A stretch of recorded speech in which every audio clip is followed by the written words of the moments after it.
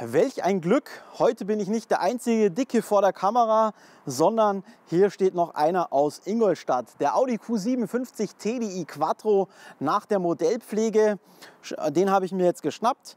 Unter der Haube 3 Liter V6 Dieselmotor, Allradantrieb und natürlich ein richtig großes Dickschiff, was hier äh, sich eher sehr hoher Beliebtheit da draußen erfreut. Und die große Frage ist, warum er, ist er denn so beliebt? Was macht ihn so beliebt? Äh, wie fährt er sich eigentlich? Und ist es einfach nur ein Fahrzeug, um das Image aufzupolieren oder hat es tatsächlich auch einen wirklichen Sinn, wenn man sich so ein Auto vielleicht sogar zulegt? Hm. Das wollen wir heute mal rausfinden. Vergesst bitte hier nicht den Kanal zu abonnieren, wenn ihr das noch nicht getan habt. Like das Video, teilt es auch sehr gerne und schreibt mir vor allem, ganz wichtig, eure Kommentare zu diesem Video und zum Audi Q7 unten in die Kommentarbox. Und damit fangen wir jetzt an mit dem Review zum Audi Q7 50 TDI Quattro. Viel Spaß euch!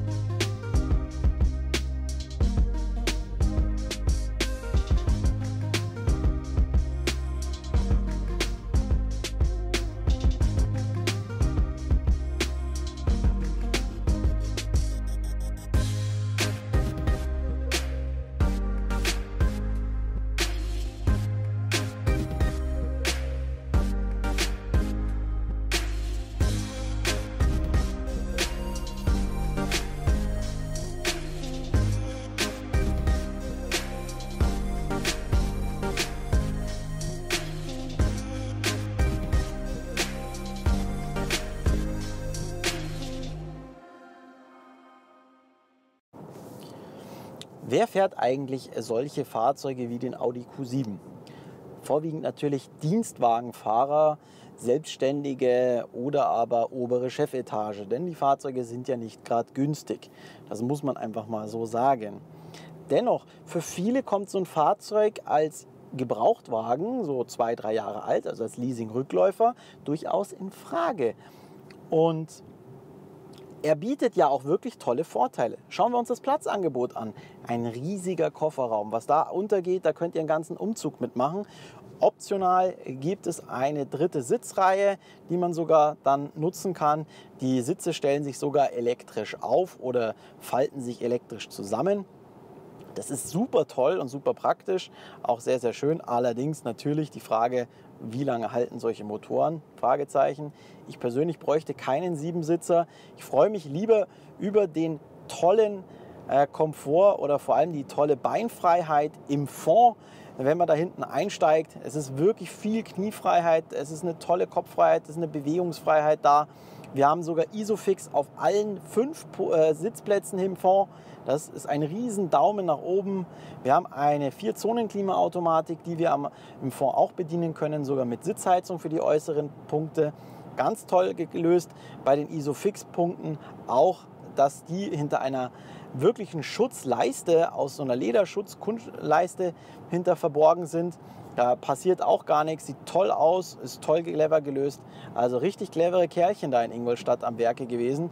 Alle Achtung, wirklich mein Hut imaginär, den ziehe ich vor dieser tollen Lösung. Die Verarbeitung hier im Innenraum ist auch einwandfrei. Es gibt hier gar nichts zu bemängeln. Alle Materialien fühlen sich wunderbar an, sind sauber zusammengesetzt. Spaltmaße, das ist, Audi ist da eh Benchmark für viele, das ist ganz klar. Ähm, dennoch, was ich schade finde, dass Audi mit dem Bedienkonzept äh, gefühlt einen Schritt zurückgegangen ist. Die Integration der Monitore wirkt optisch sehr, sehr schön. Das ist auch eine Designersache, ganz, klare, äh, ganz klar. Äh, wir haben aber mit den drei Kombi oder mit den drei Displays, die wir haben, aus Kombi-Instrument, Media und Klimabedienung, ja schon etwas viel Hightech hier drinnen. Das muss man ganz klar sagen. Vor allem, dass die Monitore des Mediasystems so niedrig positioniert sind, sorgt immer wieder dafür, dass der Blick von, dem, von der Fahrbahn abgewandt wird auf die Displays nach unten. Und das darf einfach in der heutigen Zeit nicht sein, vor allem nicht aus Sicherheitsgründen. Das ist für mich nicht so wirklich in Ordnung. Da, trotz guter Sprachsteuerung und Spracheingabe, das ich würde sagen, die meisten nutzen trotzdem immer noch ihren Finger, äh, um die Sachen zu bedienen. Oder wie sieht es da mit euch draußen auf? Schreibt es mir mal unten in die Kommentare. Genauso, äh, was ich halt auch nicht mag, ist an solchen Lösungen wie diesen Displays, dass es einfach schnell wirklich unschön ausschaut mit den Fingertapsern oder aber mit dem Staub, den wir auch auf diesen schwarzen Hochglanzleisten haben. Warum der Trend immer noch anhält, weiß ich nicht. Auch wieder die Frage an euch, seid ihr jemand, der Hochglanz schwarze Leisten im Interieur haben will? Ich nicht. Das gebe ich zu. Aber dennoch, das kann man ja auch ändern. Das lassen wir jetzt einfach mal so da, darum geht es ja nicht. Dennoch ist es halt einfach etwas, was unschön ausschaut. Das haptische Feedback von den Displays, das äh, lobe ich mir. Das ist wirklich gut. Die Bedienung an sich ist auch leider nicht so ganz intuitiv. Viele Sachen sind einfach verschachtelt in den Menüs äh, irgendwo zu finden. Man gewöhnt sich mit der Zeit zwar dran, Dennoch ist es etwas, was ich auch nicht wirklich gut finde, intuitiv finde, vor allem wenn man halt kennt die Bedienkonzepte von Mercedes oder BMW gar. Das sind einfach ganz andere Kaliber, die sind deutlich besser, deutlich intuitiver in der Bedienung. Da äh, sollte Audi auf alle Fälle dann nochmal nachlegen. Unter der Haube haben wir einen 3 Liter V6 TDI, der hier werkelt. Der leistet 286 PS und 620, 286 PS und 620 Newtonmetern Drehmoment. Das äh, ist völlig ausreichend für ein Dickschiff mit 2,3 Tonnen Leergewicht, wie der Audi Q7 nun mal so dasteht. Äh, 6,3 Sekunden auf 100, 241 km/h Topspeed. Der Wagen verbraucht auch nicht sonderlich viel. Das ist jetzt das nächste. Da kommen die meisten Hater-Kommentare immer von der Öko-Fraktion, sage ich jetzt mal. Die sagen, dass so ein Fahrzeug viel zu viel Sprit verbraucht. Nein, tut es nicht. Also ich verbrauche ihn hier mit 7,6 Litern und das runtergebrochen auf einen Tesla Model X mit 25 Kilowattstunden. Da sind wir ungefähr beim gleichen Wert. So, ja, Elektromobilität ist die Zukunft und da möchte ich auch hin. Dennoch sollte man solche Fahrzeuge aktuell immer noch nicht verteufeln. Zu verteufeln ist allerdings ein Punkt, der mich immer wieder an dieser Motor-Getriebe-Kombination stört, aus 50 TDI und 8-Gang-Wandler-Automatik. Das ist die Anfahrschwäche, die diese Kombination bietet. Äh, ich habe es bereits im Audi A6 Video und im Audi A4 Video äh, euch mitgeteilt. Der Wagen hat eine eklatante Anfahrschwäche, die ist auch so im Q7 vorhanden. Gerade am schlimmsten aufzutreten ist sie eben an Kreuzungsbereichen, wo man noch kurz vor dem Gegenverkehr abbiegen will. Und ja, es macht jeder von euch mindestens einmal, da bin ich mir sicher.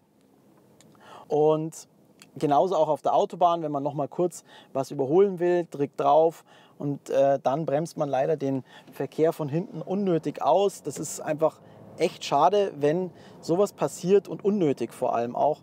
Und kann auch gefährlich sein. Und aus dem Grund bin ich der Meinung, hat, gehört sowas einfach nicht und Audi muss hier nachbessern. Es soll zwar Software-Updates geben, wann die kommen, weiß man aktuell leider nicht, was man so in Foren liest. Und äh, hier hoffe ich jetzt einfach mal, dass Audi wirklich endlich nachbessert, denn der Motor macht an sich eine gute Figur und sorgt dafür, dass er effizient arbeitet. Äh, er hat auch ein schönes Klangbild und passt hier einfach auch wirklich gut in den Q7. Genauso wie die ganzen Assistenzsysteme, die wirklich wunderbar funktionieren. Teilautonomes Fahren äh, mit Level 2 ist möglich. Das, der Audi kann das und beweist es auch und unterstützt den Fahrer wirklich effizient. Ganz toll auch das Fahrwerk. Wir haben hier ein Luftfahrwerk, was adaptiv ist, äh, passt sich den Gegebenheiten auch an. Die äh, Niveauregulierung kann man verändern. Wer ins Gelände will, kann ihn höher legen. Wer beladen will, muss ihn nach unten, legt ihn nach unten. Auf der Autobahn senkt er sich auch ab, um den CW-Wert zu verbessern. Und äh, es ist wirklich fast schon so ein bisschen Schweben ähm, über der Straße. Lediglich so ganz kurze Stöße. Die mag das Luftfahrwerk einfach nicht. die kann es nicht so gut kompensieren wie ein Stahlfahrwerk. Dennoch ist es hier einfach eine rundum gelungene Kombination. Geringes ähm, Geräuschniveau im Innenraum, auch bei hohen Geschwindigkeiten. Und da macht der Wagen dann wirklich seinem, äh, seiner Klasse alle Ehre und äh, schafft hier auch wirklich einen, einen tollen Fahrkomfort und auch einen souveränen Ant, äh, Antritt. Da gibt es im Grunde nichts zu bemängeln sonst.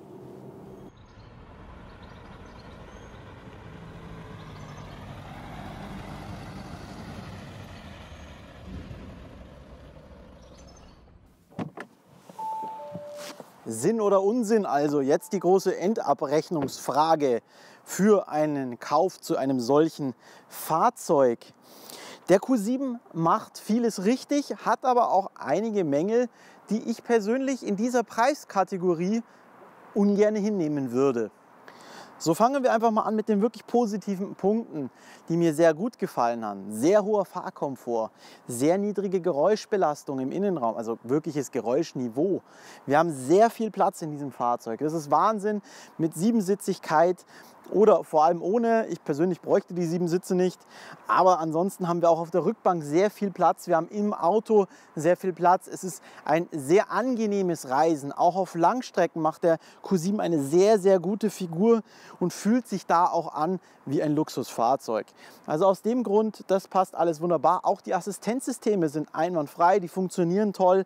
Teilautonomes Fahren ist soweit möglich. Das kann der Q7 sehr gut. Auch beim Verbrauch macht er eine richtig gute Figur mit knapp über 7 Litern.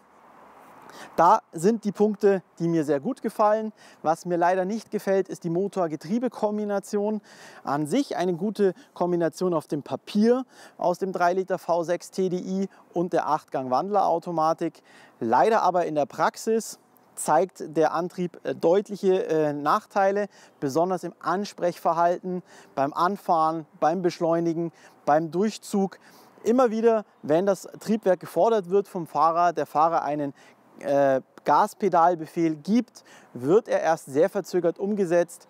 Und das sorgt immer mal wieder für ein kleines Problemchen. Man stellt sich zwar mit der Zeit darauf ein, aber es kann wirklich dazu kommen, dass man an einer Ampel oder an einer Kreuzung zu einer etwas gefährlicheren Situation gezwungen wird, wenn man draufsteigt und noch kurz irgendwo rüber will und dann versagt dieses Ansprechen. Das ist sehr schade. 100.000 Euro übrigens kostet unser Testwagen, so wie er hier steht. Das ist schon eine Stange Geld, keine Frage. Die meisten Fahrzeuge werden eh verliest, da ist es dann völlig wurscht. Für diejenigen, die ihn dann gebraucht kaufen, die kauft man dann ungefähr, wenn sie zwei oder drei Jahre alt sind und dann haben sie nur noch rund 50 Prozent Restwert. Mir persönlich, ähm, ich hoffe, der Restwert war gut für euch, vor allem der Mehrwert. Schreibt es mir unten in die Kommentare, lasst mir ein Like da, abonniert den Kanal und lasst uns jetzt ein bisschen über den Audi Q7 diskutieren. Ich freue mich sehr darüber und äh, sage Tschüss und Servus, euer Ubi.